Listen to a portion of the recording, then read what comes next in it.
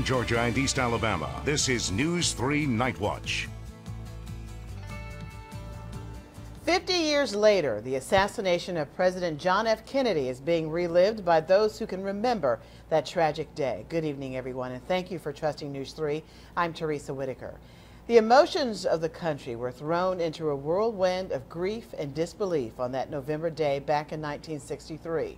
Veteran CBS newsman Bob Schieffer was a young newspaper reporter in Fort Worth, Texas at the time.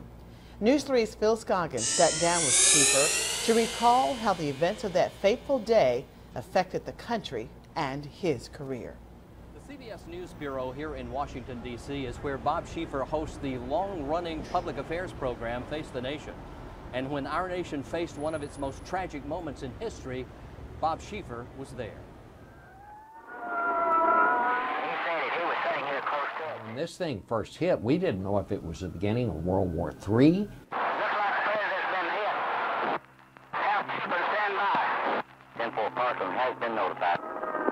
I think the first thing that ran through people's minds, I mean, it was terror. We, we just didn't know what had happened.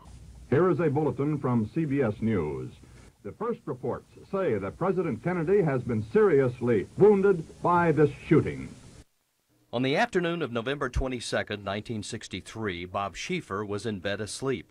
He'd worked the all-night shift as a police reporter for the Fort Worth Star-Telegram. When it came over the radio that this trouble had erupted, my brother uh, ran in and woke me up and said, you better get up. Apparently the president's been shot. I got to the city room. It was total chaos. They had sent most every reporter that worked there to Dallas. The phone rings, I pick it up, and a woman says, is there anybody there who can give me a ride to Dallas? And I said, well, ma'am, you know, we don't run a taxi service here, and besides, the president's been shot. And she said, yes, I just heard it on the radio. I, uh, I think my son is the one they've arrested. And it was Lee Harvey Oswald's mother. Schieffer told her not to answer any more phone calls. He'd be right there to pick her up. At the address that this woman had given us, there stood this little gray-haired woman in a white practical nurse's uniform carrying a little blue travel bag.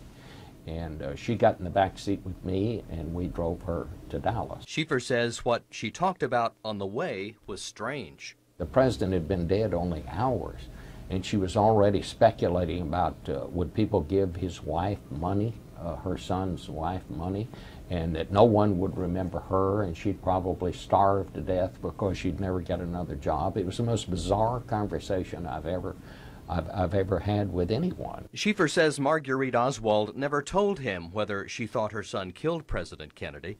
When they arrived in Dallas, so we were ushered into this holding room off the jail and uh, standing there, and I'm thinking, my heavens, I mean, you know, I'm going to, if I don't get to interview this guy, I'm going to hear what he talks to his mother about. I mean, this was the biggest story I'd ever been involved in. But his near rendezvous with Lee Harvey Oswald never materialized.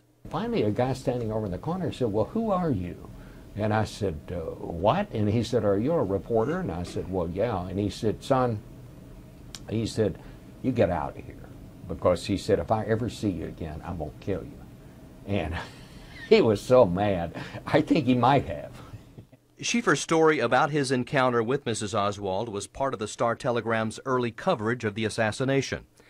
Bob says he and CBS colleague Walter Cronkite talked about the Kennedy assassination many, many times. The way Walter handled that, uh, I mean, that's what Walter was so good at, you know. I mean, he, he almost lost it there at one point. President Kennedy died at 1 p.m. Central Standard Time, 2 o'clock Eastern Standard Time, some 38 minutes ago.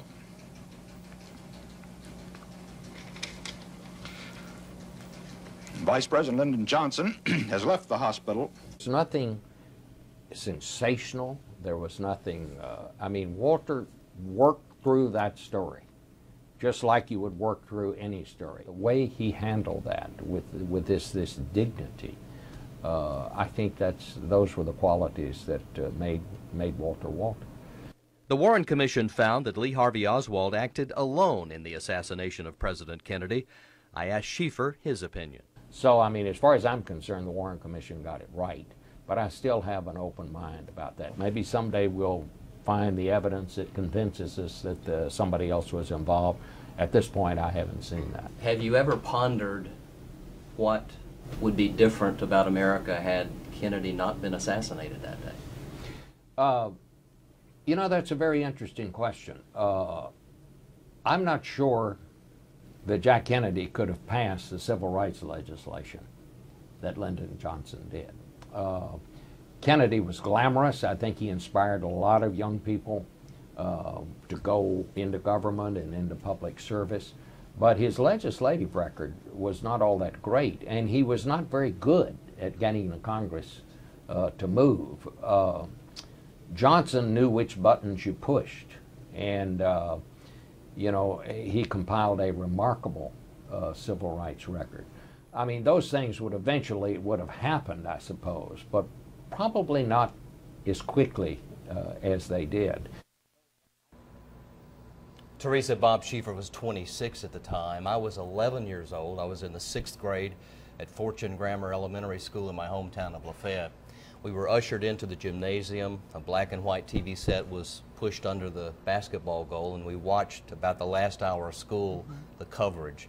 But of all the images from 50 years ago, the, the thing that sticks in my mind the most was the drum cadence as the caisson came down Pennsylvania Avenue with the president's coffin. You'll never forget it. All right. Thanks a lot, Phil. Good piece. Turning to other news tonight on the Crime Watch, a Columbus